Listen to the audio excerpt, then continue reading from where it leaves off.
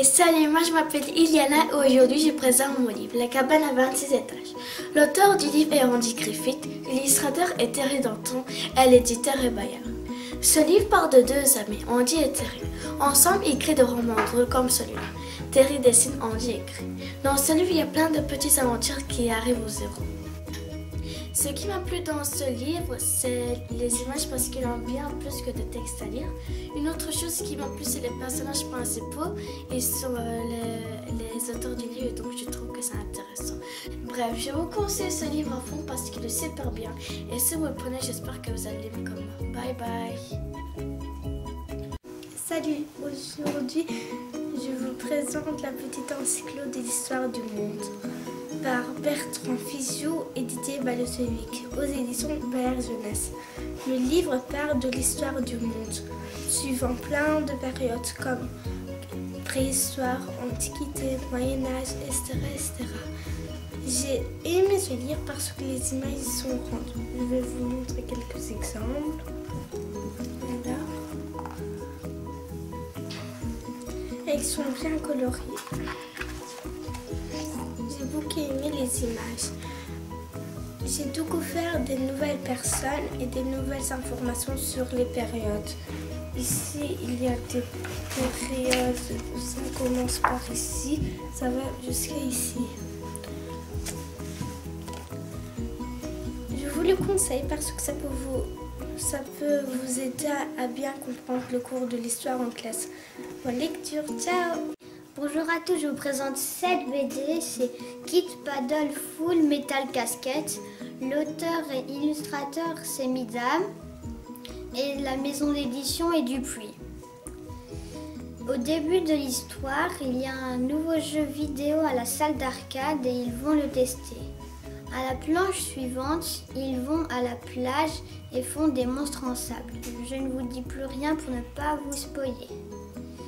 J'ai aimé ce livre parce que je suis fan de jeux vidéo et aussi parce qu'il y a plein d'histoires drôles sur Kid Paddle et ses amis.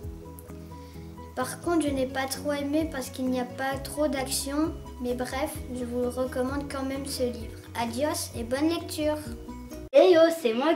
Aujourd'hui, je vous présente mon livre Les livres de l'argent de poche, écrit par Dominique de Saint-Mars et Serge Bloch.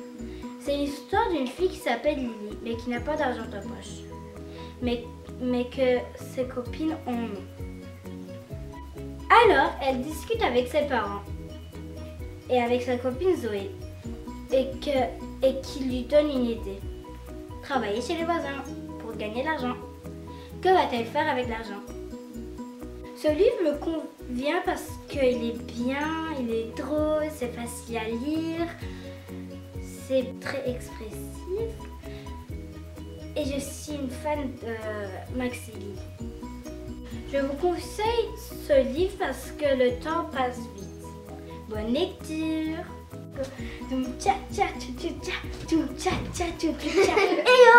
Bonjour, je vous présente Verte, une BD imaginaire avec plein d'aventures, écrite par Marie-Dès et illustrée par Magali Le C'est une BD c'est une histoire qui commence dans une maison de sorcières.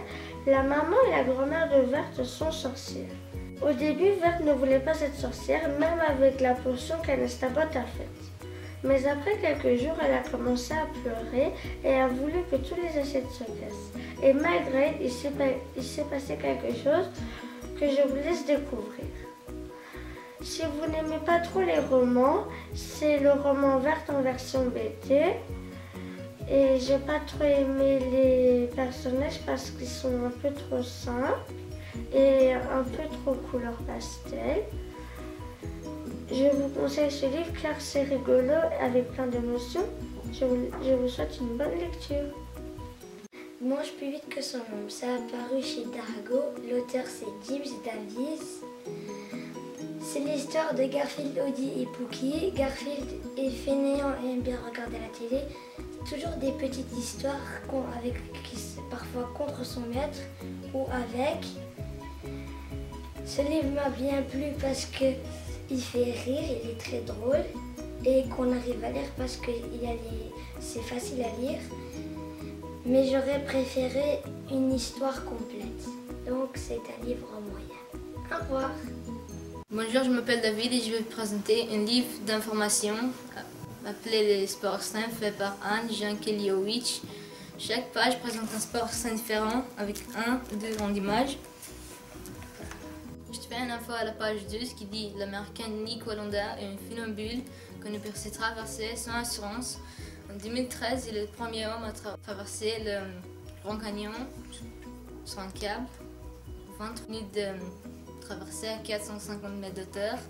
Ce livre m'a plu parce que j'aime les sports sains. Je vous recommande ce livre parce que c'est intéressant en lecture. Bonjour, je m'appelle Asia. Le titre de mon livre est Cœur de mandarine de Cathy Cassidy et Raymond Sébastien. La, série est Les filles au chocolat. Le personnage principal du livre est Sumer Tamberi.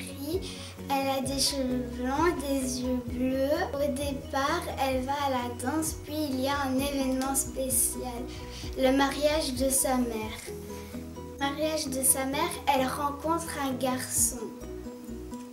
Puis c'est son histoire entre la danse, ses amours et, sa famille.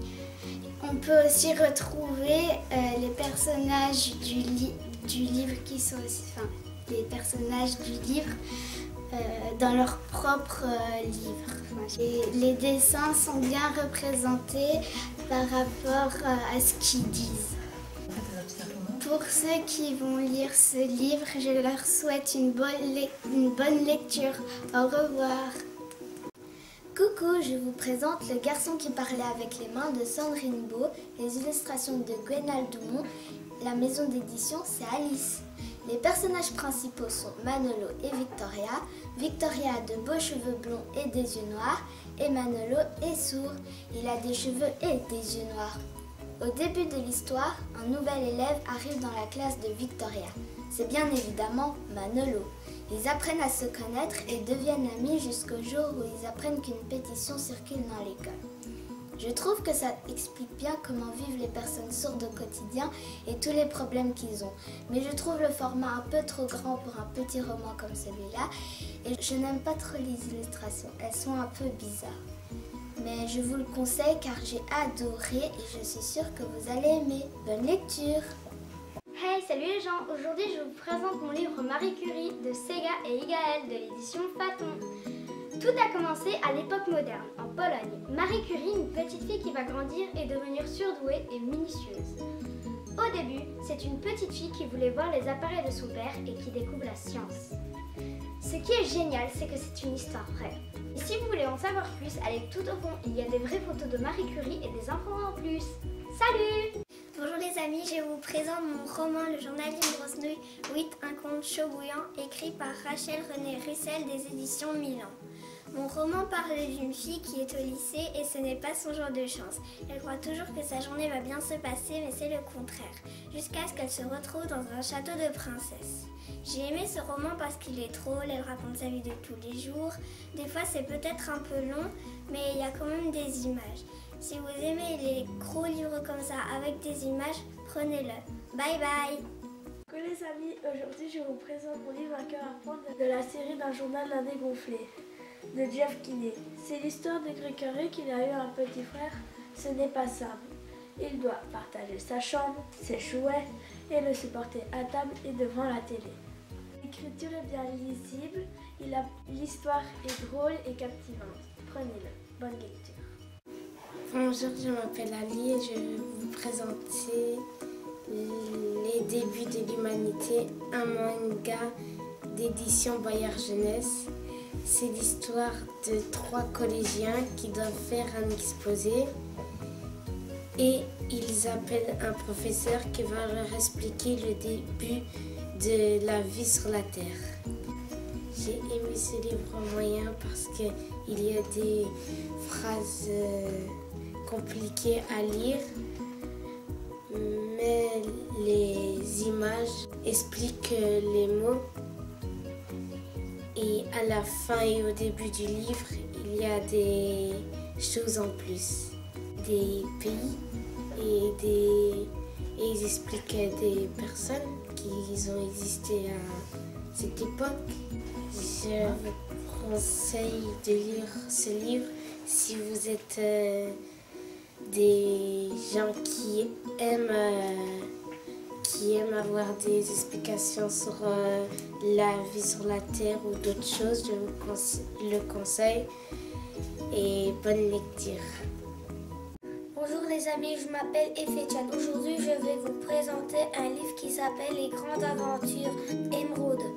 le dessinateur est Satoshi Yamamoto, le, scénariste Hidenari Kusaka et l'éditeur est Kurokawa. Dans ce manga, on parle des gens méchants et gentils.